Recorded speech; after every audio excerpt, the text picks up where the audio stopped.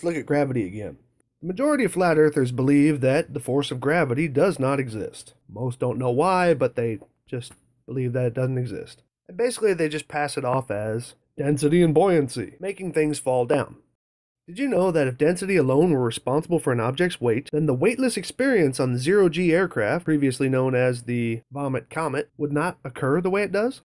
Let me hit this a little closer. If density alone were somehow responsible for weight, absent any force, then only certain objects would be weightless at certain times, or more specifically, falling at certain speeds.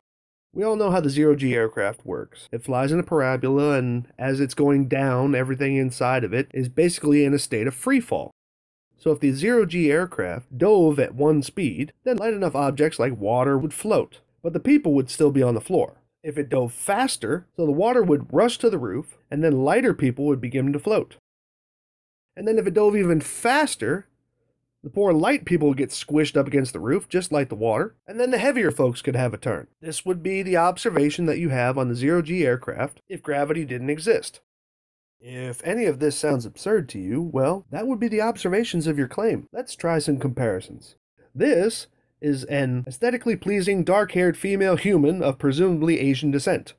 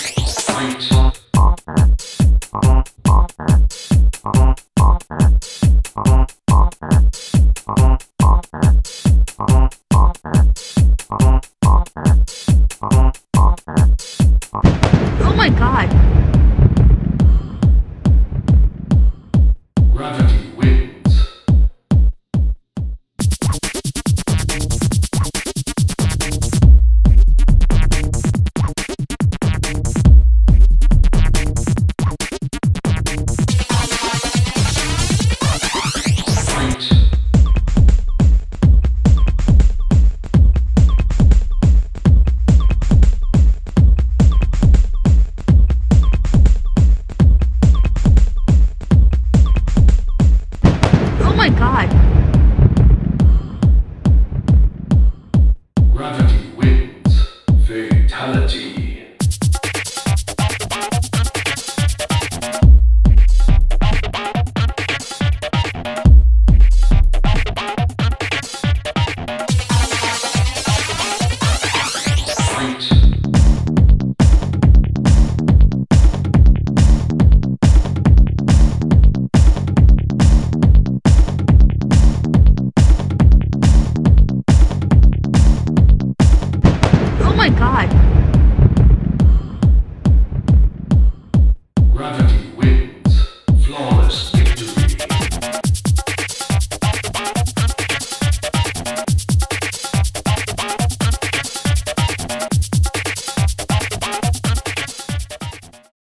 Reason why everything floats at the same time is because gravity does exist, and it moves at a measured and known speed, more commonly referred to as gravitational acceleration, in most equations as little g.